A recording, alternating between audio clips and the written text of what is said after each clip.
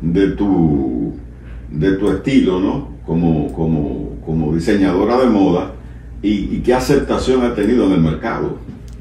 La verdad que yo siempre he dicho que me, me, llama muchísimo la atención y me encanta el diseño que históricamente hemos visto de nuestro querido Oscar de la Renta. Ok.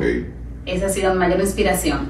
Sin embargo, le doy mi tono personal, como he visto a mi mamá y a mis tías vestirse, siempre ciñendo el cuerpo, porque eh, el cuerpo de, de, reloj de arena es lindo ceñirlo, como siempre lo ha hecho Christian Dior, que destaca mucho la feminidad. Y ese ha sido mi toque personal. Eh, utilizo los textiles que, que, realmente existan, o sea, no me okay. limito, puede haber combinaciones de lino como combinaciones de jeans, que es el que más me ha agradado últimamente utilizar, mm. pero no me limito ahí. Sin embargo, sí me siento inspirada por lo que hay en República Dominicana. La mayoría de inspiraciones son las playas, las vistas naturales, la fauna, la flora, y muchas veces hasta la arquitectura que tenemos aquí como herencia. Esas son las cosas que más me inspiran porque quiero promoverlos a través de lo que hago, no solamente detenerme en salvaguardar el medio ambiente, sino también en decir quiénes somos como país.